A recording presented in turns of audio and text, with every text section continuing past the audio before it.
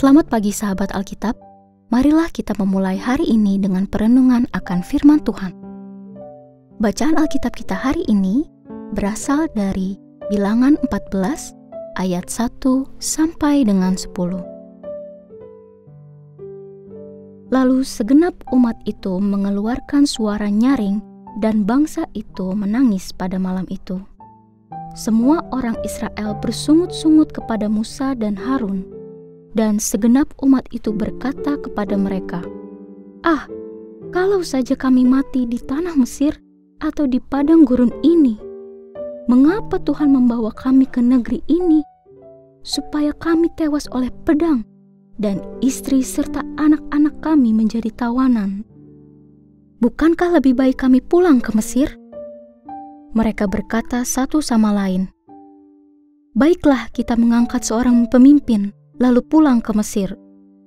Lalu sujudlah Musa dan Harun di depan mata seluruh jemaah Israel yang berkumpul di situ. Tetapi Yosua bin Nun dan Kaleb bin Yefune, yang termasuk orang-orang yang telah mengintai negeri itu, mengoyak pakaiannya dan berkata kepada segenap umat Israel, Negeri yang kami lalui untuk diintai itu luar biasa baiknya. Jika Tuhan berkenan kepada kita, Ia akan membawa kita masuk ke negeri itu dan memberikannya kepada kita, suatu negeri yang berlimpah-limpah susu dan madunya. Hanya saja, janganlah memberontak kepada Tuhan dan janganlah takut kepada bangsa negeri itu, sebab mereka akan kita telan habis yang melindungi mereka sudah meninggalkan mereka. Sedangkan Tuhan menyertai kita, janganlah takut kepada mereka. Lalu segenap umat itu mengatakan akan melontari kedua orang itu dengan batu, tetapi kemuliaan Tuhan tampak di kemah pertemuan kepada semua orang Israel. Sahabat Alkitab, kita selalu menghadapi perjalanan hidup dengan segala pasang surut kondisi yang muncul, mulai dari yang menyenangkan hingga beragam situasi sulit yang meresahkan bersama Tuhan. Namun, memang tidak dapat dipungkiri bahwa sering kali pergumulan dan tekanan hidup membuat kita sangat mudah untuk mempertanyakan, menggugat, meragukan, bahkan merendahkan peran aktif Tuhan. Hal ini pula yang terjadi pada bangsa Israel, tepatnya pada saat mereka sedang berada pada satu momen penting dalam perjalanan hidup dan iman mereka sebagai sebuah bangsa.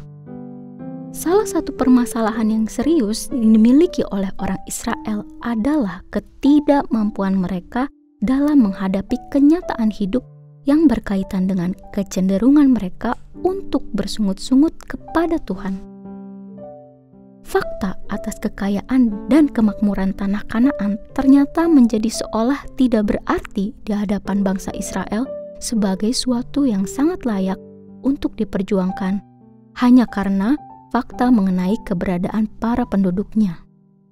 Mereka terlalu takut untuk menghadapi fakta tersebut, sehingga memilih untuk menyerah dalam memperjuangkan sesuatu yang penting dalam kehidupannya bahkan untuk sesuatu yang sangat berarti bagi diri mereka sendiri. Perasaan minder dan takut memang bukanlah sesuatu yang salah untuk dialami oleh seorang manusia. Seorang umat Tuhan pun sangat mungkin untuk mengalami hal tersebut, dan itu sangatlah manusiawi.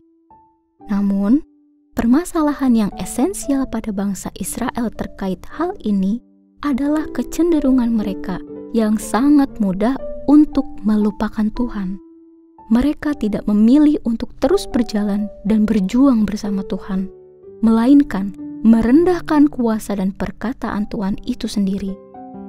Hal ini pun perlu menjadi pembelajaran iman yang perlu kita refleksikan ke dalam hidup kita masing-masing di tengah segala dinamika petualangan hidup yang ada.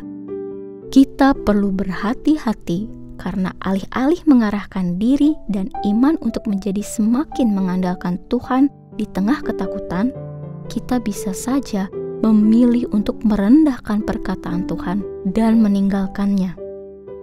Hal ini terjadi karena kita lebih memilih untuk menyerahkan diri kepada ketakutan terhadap kenyataan hidup dibanding menyerahkan diri kepada Tuhan. Mari kita berdoa. Tuhan Yesus yang baik, kami bersyukur atas renungan pagi ini. Kami berdoa agar Engkau memberi kami keberanian dan kekuatan untuk tidak membiarkan ketakutan meruntuhkan iman kami. Bimbinglah kami untuk tetap setia berjalan bersamamu, bahkan dalam situasi sulit sekalipun. Bantu kami untuk selalu mengandalkanmu dalam segala hal dan tidak merendahkan perkataanmu, melainkan memperjuangkan iman kami dengan penuh keyakinan. Dalam nama Tuhan Yesus kami berdoa. Amin.